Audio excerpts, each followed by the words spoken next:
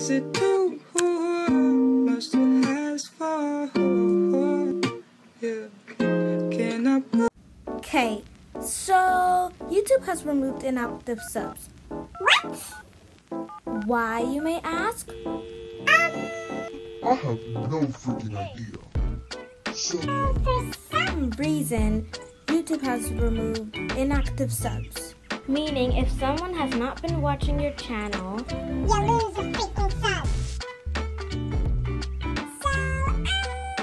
Let's just say that it's annoying.